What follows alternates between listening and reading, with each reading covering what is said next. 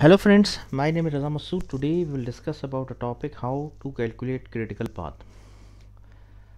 Uh, friend, this is a very easy topic and uh, and we will discuss this topic in detail with respect to project management, PMI or pro project management body of knowledge. We will see that what is critical path and what is its importance with respect to project management. Uh, friend, this topic that how to calculate critical path, this is very important topic and uh, if you are a student and studying project management in university or you are planning to give exam of PMP so friend this is very very very important topic. And uh, you will definitely see this topic in exam that how what is critical path and how to critical path calculate critical path. So friend um, as a student if you are a student so I must say that you must watch uh, videos uh, related to critical path because in the exam you will definitely see that what uh, your your concept related to critical path and you, uh, you must see to calculate uh, critical path. First of all as a student you must have a knowledge that what is critical path what what is its importance and you also should know that how to calculate critical path because in the exam you will definitely see around 10 questions which are directly directly related to the concept of critical path or you must maybe uh, you may have to uh, face questions in which you have to calculate the critical path. So this is very important that uh, your concept related to critical path should be clear and uh, how to uh, how to calculate the critical path. Secondly if you are a professional project manager and working in any organization so again this is very important because uh, critical path is very important and there are some advantages. We will see that in the in this video that what are the advantages and which we we must know as a professional project manager that uh, what are the advantages uh, we will get if we know the critical path. So in this video we will discuss about this topic as well that what are the advantages. First of all we will see that how to calculate the critical path and what are the advantages if you know the critical path as a professional project manager?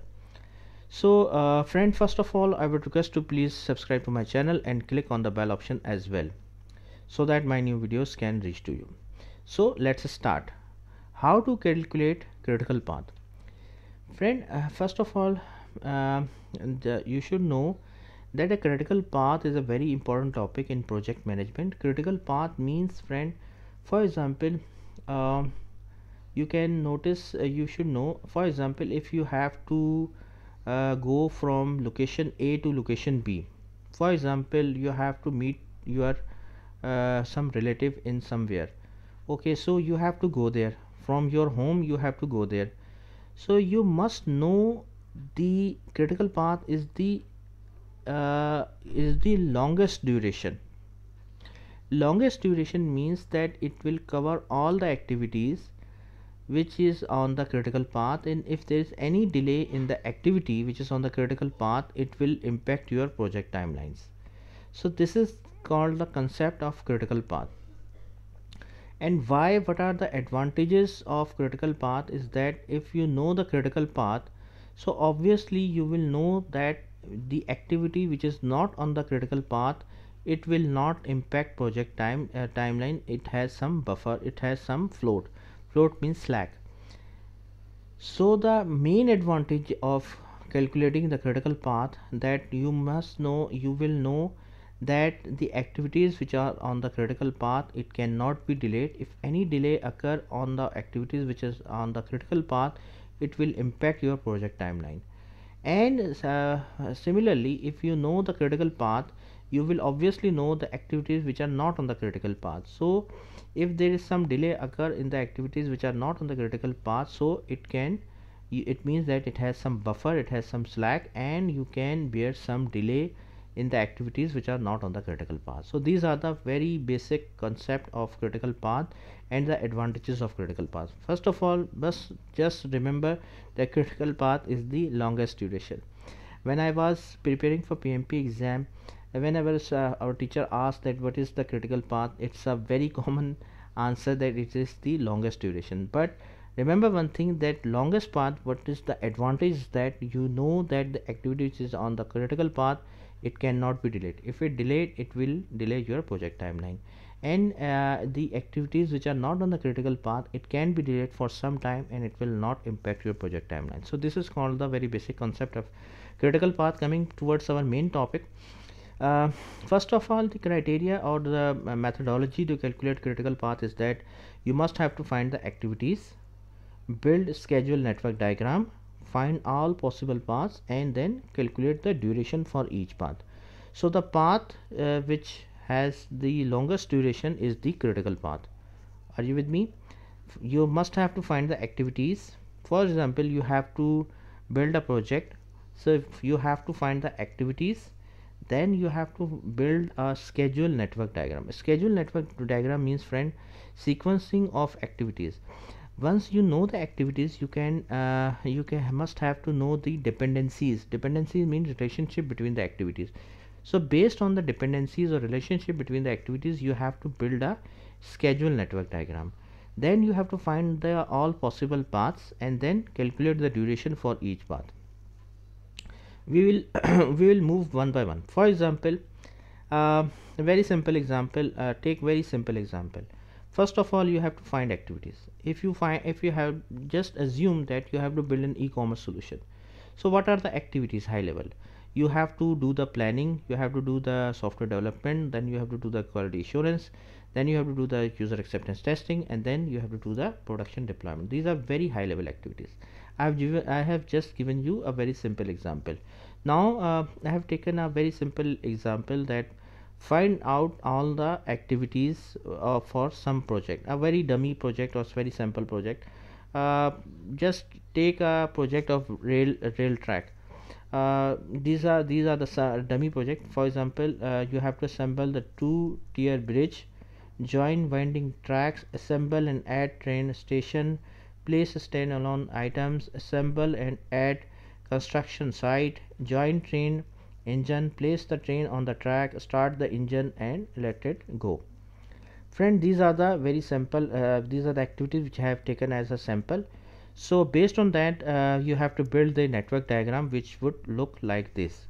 So here you would see that these are the activity A B C D and each activity has time duration as also mentioned. For example activity A will take 10 minutes activity b will take 10 20 minutes activity c will uh, uh, take the uh, will take the 5 minutes. So friend uh, for example from activity a to activity h what are the possible uh, first of all you have to build the network diagram. Network diagram means that you must know that activity a and b has which type of dependency? For example it it shows the finish to start relationship. That means once this activity will finish only then this activity will start. Similarly you can say from here you can see from here that the activity f can start and activity c can also be start. So there are two paths can be creating from here.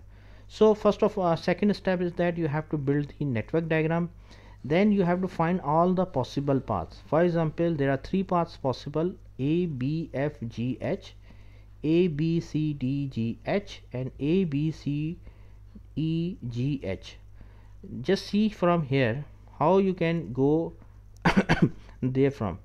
Like A B C D G H. This is one path possible. See A B C D G H. So this is one possible. There are other paths are also possible. A b f g h. This is another path possible. Another path a b c e g h. This is another path. So these are the possible paths uh, which we have seen. Now uh, you have to calculate the duration for each path. For example a b f g h will take 10 plus 20 plus 2 plus 2 will take 38 minutes. How we are uh, calculating this duration? We are taking these times 10 20 for a will take 10 b will 20 so we have taken this time like this. Then a b c d g h will take 10 plus 20 plus 5 10 uh, plus 10 plus 2 plus 2 it will take 49 minutes uh, the third one is a b c e g h will take 10 plus 20 plus 5 plus 2 plus 2 plus 2 it will become uh, 41 minutes. So just take these three paths and notice that the, what is the longest duration or what is the highest uh, time. So you can see from here 49 minutes. This one is the highest or long longest duration. So that means a b c d g h is the critical path so critical path means that it is the critical path and any activity which exists on this path is on the critical path. It cannot be delayed. If any activity which lies outside the critical path it has some float it has some slack and it can be delayed for some time. However your project will not be delayed. If any activity which exists on the critical path it if it it delayed it will delay your project timelines. So this is called the concept of uh, uh, critical path friend uh, i hope you like this video. I have tried my level best to explain you the concept in a very easy to understand manner. If you still have any question or query please do ask from me. I would love to answer your queries. And thank you. Thanks a lot for your time. And that's all from my side. Thank you